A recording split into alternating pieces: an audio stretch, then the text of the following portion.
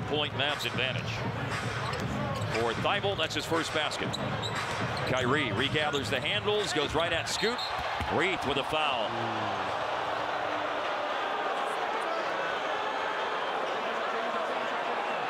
There's some carnage here as you've got Kyrie down and Powell down.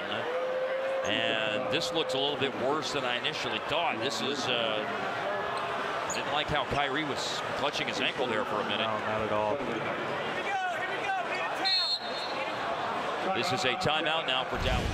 He's got free throws to shoot, which I would surmise he will stay in the game and take for the possibility of returning to the game. But watch Powell here falling down on the feet of Kyrie Irving. He's missed time, Devin, with soreness in both feet this year, left foot and right foot. That is not good. And all the weight of Powell landing on that right leg.